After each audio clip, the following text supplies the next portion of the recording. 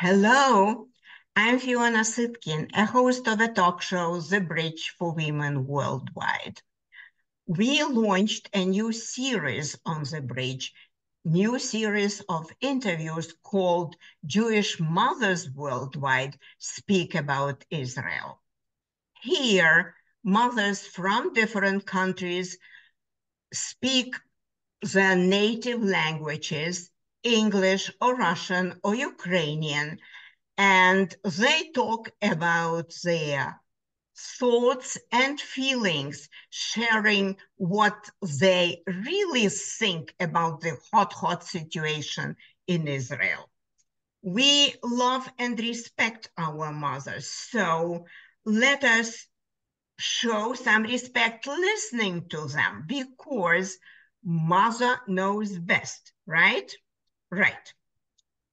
The topic today is a mama from Montclair, New Jersey, speaks about Israel with a guest, Siona Benjamin, originally from India.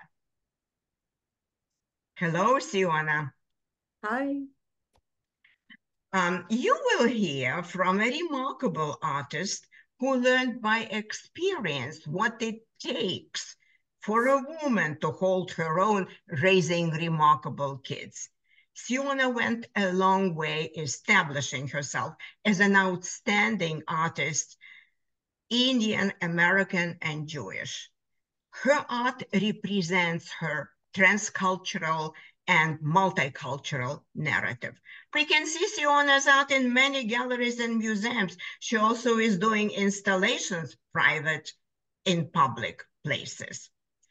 Again, welcome to our talk show, Siona. Thank you. Thank you. Um, well, could you please tell us how you are related to Israel? Do you still have any relatives there? And what shaped your attitude? Please share where you are coming from to this conversation, providing a bit of your background, if you please.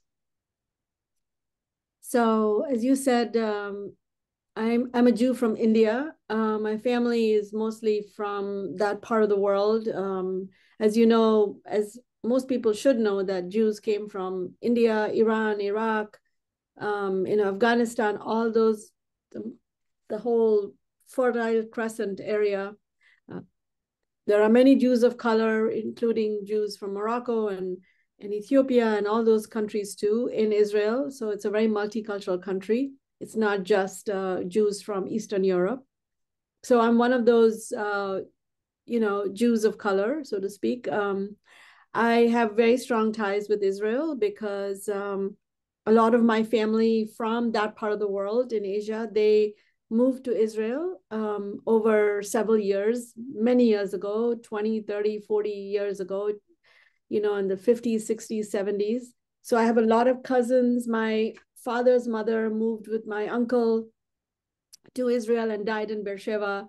Uh, my mother's mother actually moved with my uncle Mordecai uh, to Cleveland, Ohio. And so, and both my grandfathers died in India. So uh, my parents continued to live in India, but my mother would visit me very often because I came here to study, to go to graduate school in art. But all of that family that moved to Israel is still there. And I am close to a lot of them, most of them, all of them. Um, a lot of cousins, a lot of cousins' kids. Um, I, you know, receive a lot of news from them. I was in Israel the last last year when my daughter, uh, Rachel, um, who has who, who was in marketing before, but then she recently, in the last two three years, three years ago, she became a chef. So she went to intern in Israel through a program called Masa. She was there for six months. I went to visit her. Before that, I, I was visiting family again. Before that, I had a Fulbright in Israel for six months. Um, so you know, I and before that, I've visited I don't know how many number of times. it's like from the time I was a kid. So I have very close ties with Israel. Yes. Yeah. Okay. It's nice to hear. Thank you so much for sharing. Um, I know, Siona, that you are happy with your life and proud of your children. Every mama does, right? Now, could you please share what were you feeling on that terrible morning of October 7 when you heard about this sudden terrorist attack on the peaceful citizens of Israel, about bloody atrocities, about hostage taking. How do you remember that day unfolding? It was beyond shocking. But I mean, I was shocked because I felt like Israel has a very good defense system.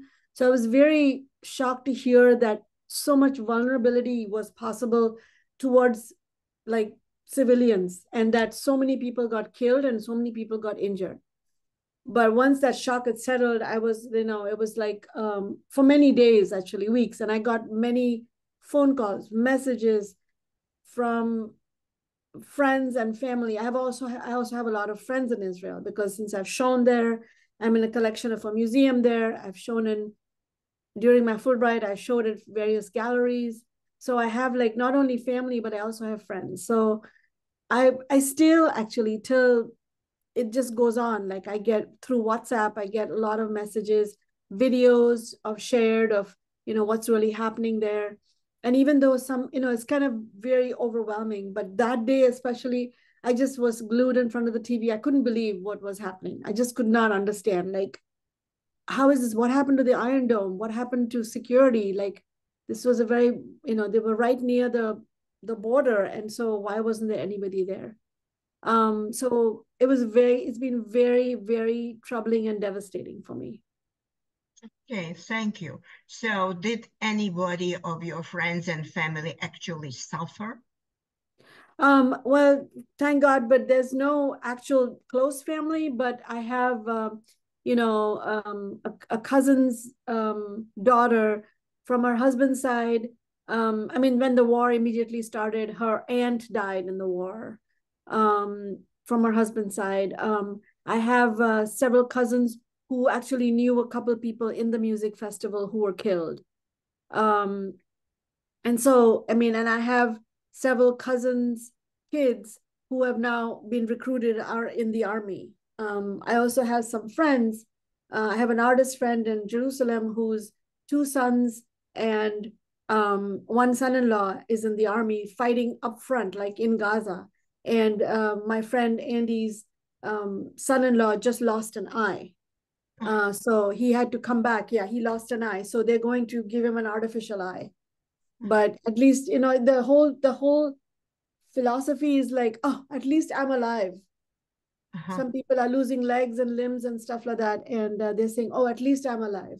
That's the kind of desperate situation there. So this person, you know, this my friend's um, son-in-law is a father of young kids and he lost an eye.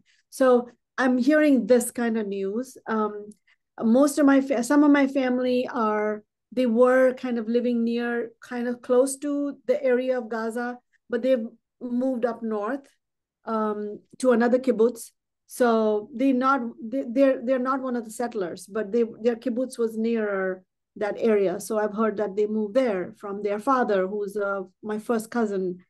Um, you know things like that. I'm constantly hearing things. People are also friends and family are sending me lots of videos of what's happening. And it's very interesting, but sometimes it gets overwhelming. And my daughter has been telling me, you know, I mean, I've been doing my work because fortunately I'm really busy, but like, you know, sometimes I feel like I need to shut it off, but I just can't. Because I feel like if I don't answer somebody, it's like rude. I, I have to answer everybody who messages me. So it's an endless, you know, it's like between WhatsApp and instant messaging and phone calls and uh, it's just been very overwhelming yeah thank you so much for sharing it so emotionally i do understand it well siona today when the tragic events and the war in Gaza rage on and will probably last for a long time, we need to think of peace. We need to plan for peace, right? Yes. And here is my main question. Imagine you could have a direct access to those in power, either in Israel or in the United States or elsewhere. what three pieces of advice would you give to them? Advice or recommendation or method how to normalize and stabilize the situation, how to establish peace, and how to achieve peace for all children on earth. Please. This, oh my God, that is a very big question. it is. Yeah it's a huge question. I mean i could talk for a long time about that but um, i just want to start off by saying i think i'll start off over here. I was raised a jew in india with muslims hindus christians buddhists. Uh, some of my best friends in india were muslims and still are. Um, i'm still in touch with my high school friends who are a group on through whatsapp and they just wished me for my birthday this week and and you know like so and two of my best friends growing up in school one was muslim girl me the jewish girl and there was another portuguese christian.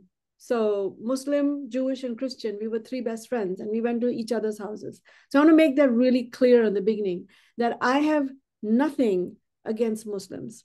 I have very close friends. My family would send sweets during the Rosh Hashanah to my not only to our Jewish friends and family, but also to all the other friends um, I, I go to Israel, I see, I buy my khamsas from Palestinian shops, you know, in Jerusalem, um, you know, my, my jewelry, and I, I don't differentiate.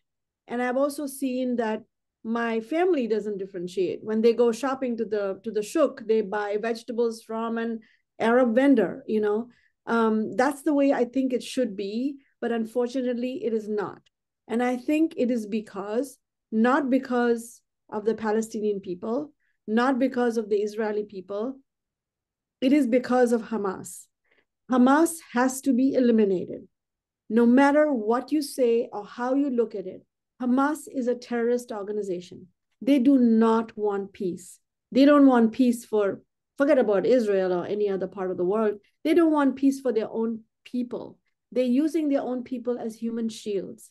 They're hiding weapons under schools and hospitals whoever is not seeing that needs to just come to terms with that you know it is again i always say this i am free palestine yes but free palestine from hamas that should be the slogan not just free palestine from the jews because it's i mean yes every country has done some mistakes united states for example should be giving the land back to the native americans why? Because we colonized here and we took the land away from the native people.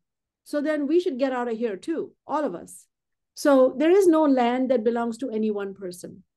Jews and Arabs have lived in the Middle East for centuries. There has been proof historically that Jews have lived there during the Roman times and even before. So there is no such thing as my land, your land, or my food, your food, or my customs, your customs. It is Middle Eastern and it is shared. Recently, somebody told asked me at a party, we're talking about food, and I talked about my my daughter working for an Israeli restaurant. And this person said, Well, there's no such thing as Israeli food. I didn't say anything to her. I just asked her this one question. I said, You like Indian food? And she said, Yeah, I do. I said, Do you like this dish called biryani? It's like this layered rice and meat and vegetable dish. Oh, I love it, she said. I said, it's not Indian. It, it, it is now considered Indian, but the dish comes from Pakistan and Iran. That's a kind of a layered rice dish that originates from the Mughal Empire, which came into India centuries ago. But now it has become an Indian dish.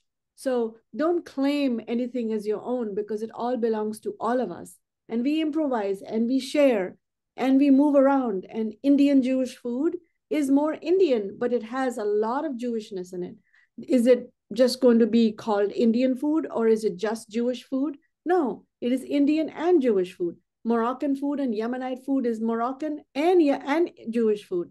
Yemenite food is Jewish and Yemenite food. So this business of like claiming it to be your own, I think people should just give it up because there's no such thing of just belonging to a certain land. Palestine, Palestinian, there was no Palestine before the formation of Israel. If you, if people can just read the history of that area, There was no Palestine. People live there. I know, I know, I have friends and family. I have friends especially who have who have lived there before this formation of the state of Israel. So, you know, who got kicked out? Yeah, and a few bargain, a few people did get kicked out, which is wrong, and they should be compensated. But this whole thing about like from river to the sea, Palestine will be free, that that's nonsense because the, and that's not going to happen. So, you know, I think people should just learn about the history. There are a lot of people also who never been to Israel, don't know about Jewishness, about the history of Israel, or about the history of the Holocaust or anything, but they have a lot of opinions because they've read articles or they've read stuff from the internet. Well, they need to educate themselves before they talk about a certain topic. And I'm even not saying that I'm totally educated about it, but I do know because I've been there. I have seen Jews and Mus- Jews and Palestinians walking together in the same streets. It's possible. And Palestinians get jobs in Israel. They get paid more in Israel than they do in Gaza. And also, one thing that people need to understand all the aid that has been going to the Palestinian people sent by the UN has been stolen by the Hamas people. They use it to build their ammunitions. They they stay they steal food from the old from the aid that comes to their own Palestinian people. So people need to understand it's not about Palestine or the Palestinian people. It's about getting rid of a terrorist organization called Hamas. Loud and clear. That's all I have to say. That's, you know, I have nothing against I think Palestinian people should live amicably with Israeli people. I think we are a, a, similar kind of, we are like step brothers and sisters. We're, we're like siblings. Yeah. Okay. The Arab people and the is and the Jewish people. What is the meaning of a sabra? A sabra is a person, is a Jewish person from the mid from the Middle East. That is somebody who's there. Similarly, uh, Arab is also a sabra in that way. But there are terrorist organizations out there whose ulterior motive is just to, to get themselves rich and to use other people as scapegoats. And hmm. that is what ISIS and Hamas is. Yeah. Thank you. A lot of information. I'm very, very grateful to you. Thank you ever so much, Siona. I am with you on that. These ideas are great. Um, finally, my friends, let me thank you for watching The Bridge for Women Worldwide, and please subscribe to our channel. It is now over 10,000 subscribers strong and counting. And let us connect right here on the YouTube via the comments to our videos and also via my book site, www.fionasitkin.com. Many thanks. And now our guest, Siona Benjamin, and myself, we both wish you to stay well and healthy. We will win. We shall overcome this war and beyond. Bye-bye for now. Bye-bye. Thank you. Salute.